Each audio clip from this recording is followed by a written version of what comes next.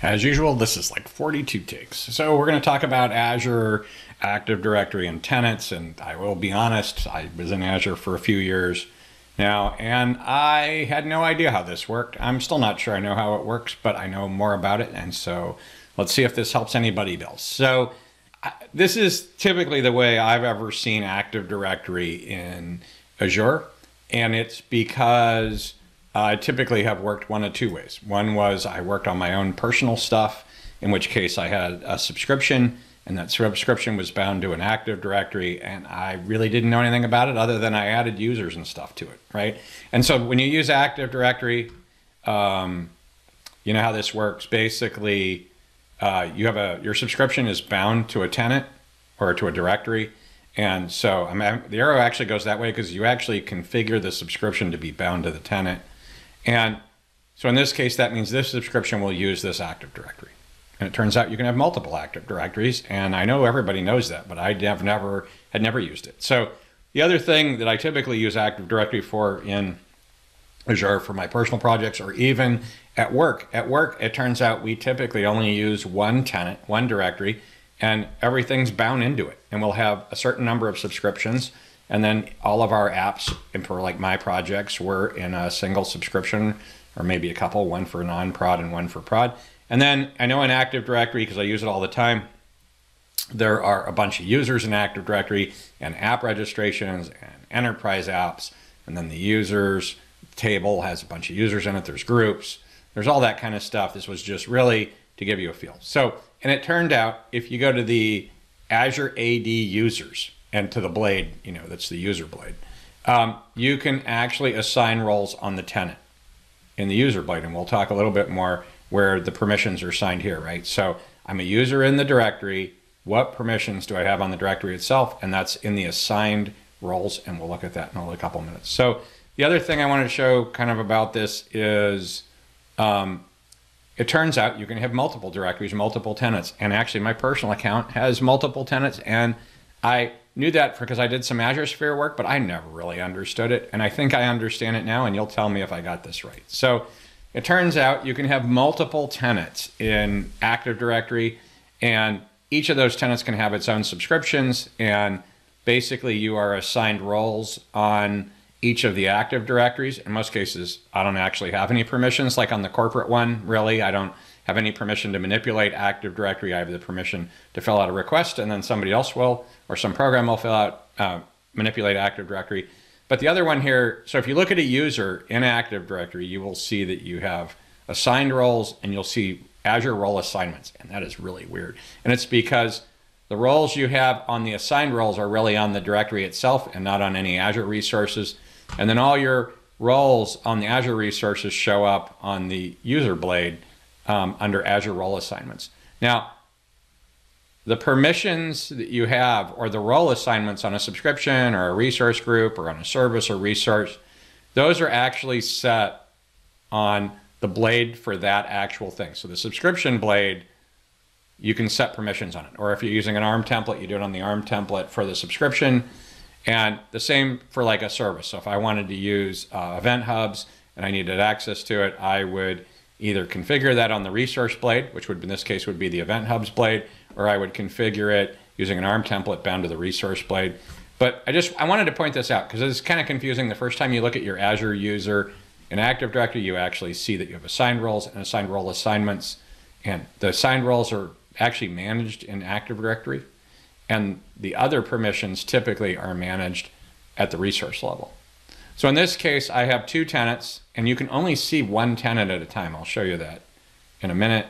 Um, you can only see one tenant at a time. So in the portal, so you pick which portal you're gonna look, uh, which tenant you're gonna look at. And so in this case, uh, if I was switched in this one, I would see these two subscriptions. If I was in this one, I would only see this one subscription. And so um, why is this important? Well, it turns out you can end up with something like this. I didn't even know it. So um, the important parts for this discussion are well, they're all important, but like we're only going to talk about orange, blue, and teal, green here, whatever that is. Um, so it turns out my primary Azure subscription, uh, Joe at freemansoft.com, I actually have a Freemansoft Azure uh, tenant or directory, and that has my personal subscription on it. Uh, personal uh, subscription that didn't have an MSDN tied to it. It has an MS old or it had an old MSDN subscription tied to it, and then it's got other users and app registrations and all that stuff is on this. And then hanging off of that are a bunch of resources like resource groups and all that. So this is where I've always operated. It turns out I did some Azure Sphere work a while back, and I have an Azure Sphere directory, and I've never really understood what it did. They said it's tenant, and you had to configure the tenant, but they didn't. I have never seen a link anywhere that tells me that's how this works. So my user actually exists in both of these Active Directories and both of these tenants in Azure Active Directory. And when I flip back and forth, I get different permissions. I'm either, these are scopes. I'm either operating in this scope or I'm operating in this scope. Now, it turns out a while back, based on some subscription work, I wanted to create an Office 365 um, for the, my like consulting company. And so it turns out I actually have a third Active Directory, and that Active Directory has Microsoft Teams, Office 365, and Skype for Business on it. And I'm pretty sure it was because I had like Office 365 subscription uh, and I wanted to set it up and play with it as part of some MSDN platform thing. So it turns out I actually have three, and I'll, like I said, I'll discuss this one later. I actually have three tenants. I have only ever used this one knowingly. This one I use on the command line because all the instructions told me to, but I didn't know what it meant. So we can look at this real quick. Now, if you want to know if you've got multiple tenants, right? So typically you're going to log in and it's going to look something like this right here. Hey, here's joefreemansoft.com, and he's in the Freemansoft Azure tenant. Now, if you click and you see this, switch directory, that actually means you have multiple directories available to you. In your corporate account, you probably don't. Well, you might, right? Um, and so in this case, um, and there's some other weirdness here in corporate accounts I can show you, and I can't show you because I can't tell you who I'm working with.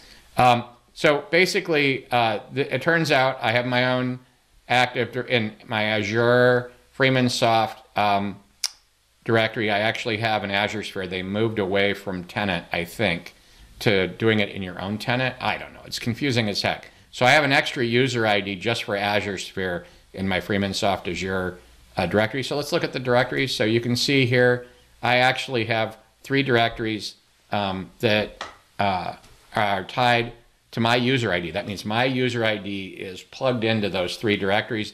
Now, I happen to be an Azure, a uh, admin on two of those.